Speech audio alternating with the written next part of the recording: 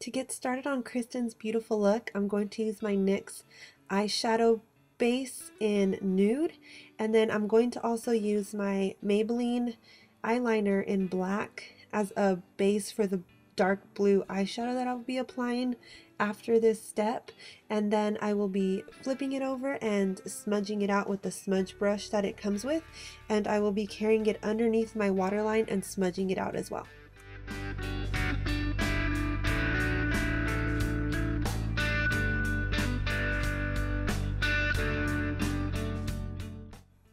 Here I'm taking this really pretty dark blue color for my second edition BH Cosmetics palette and putting it all over my eyelid. She did not go past her crease, she kept it nice and clean and simple and left it all over her eyelid.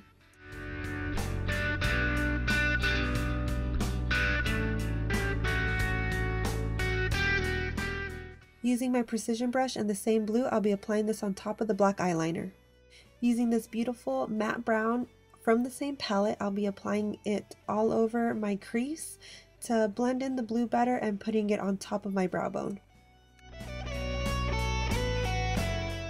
She had a hint of purple on top of the blue on her waterline, so taking an eyeliner brush, that's where I'll be applying it. Now you want to take the same black eyeliner that you used and you want to apply this to the waterline just to make the look a little darker.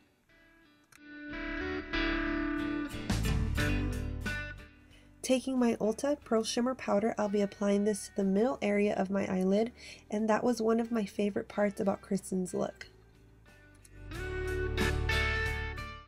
Prepping my eyelashes for my fake lashes, I'll be applying my Maybelline Mega Plush Volume Express Mascara on the top and the bottom eyelashes. Taking these amazingly comfortable eyelashes by Ardell, these are the natural 110 in black, you want to apply some eyelashes because this look is kind of dark. You can lose your natural eyelashes.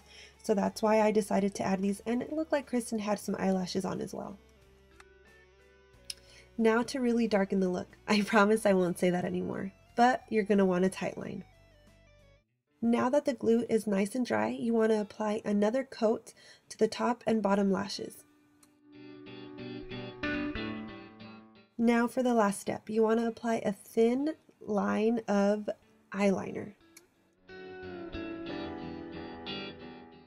We all make mistakes. Here I noticed that the eyeliner was a little too thick, so I added a little bit more blue to my look just to make the eyeliner noticeable but barely noticeable because her eyeliner was really thin so I had to retouch. But now that I did that, I fixed it and everything turned out great.